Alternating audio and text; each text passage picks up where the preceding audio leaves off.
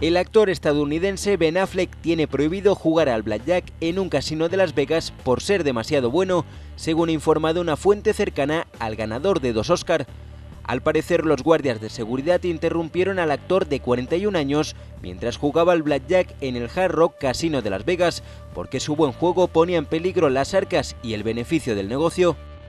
Eso sí, los responsables, en lugar de echar al actor, le recomendaron que continuara su día participando en otros juegos que ofrece el establecimiento. Según informa The Line, no es la primera vez que Affleck tiene problemas de este tipo, ya que ya habría sido expulsado de por vida de otro casino por contar cartas, aunque los portavoces del citado casino no se han pronunciado sobre el tema. Curiosamente, una de las últimas películas de Ben Affleck ha sido Runner Runner, en la que interpreta a un magnate del juego online. Parece que el actor tenía mucho que ver con su personaje, y es que, como demuestra esta noticia, es todo un experto en el mundo del juego.